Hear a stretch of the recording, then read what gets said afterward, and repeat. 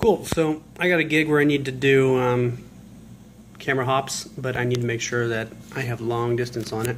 So we're using our URXs here, but um, making it bag compatible. So what I did is just took a regular LiPo I have, ran it into, this is the power meter right now, currently drawing a lot more current than I expected, and it's going up.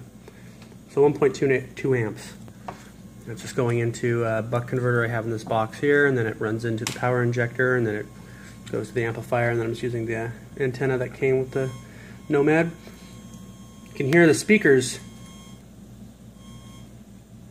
Yeah, hopefully it doesn't do too much in the bag. We'll have to see.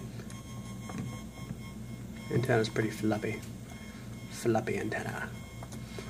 So yeah, we'll see how this works out, but adds quite a bit of power. Kind of shocked it's using that much. Um,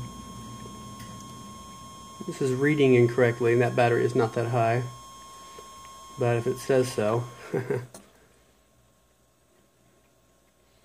now, said I was pulling about an amp earlier, 0.8. Got to put the cover back on the power injector. I hardwired it because I did not like the 2.1 millimeter connector in there. Stuff could fall out. It works really great in my grid parabolic antenna with the 25 dB forward gain before amplification. So, sweet. Let you guys know how it works out.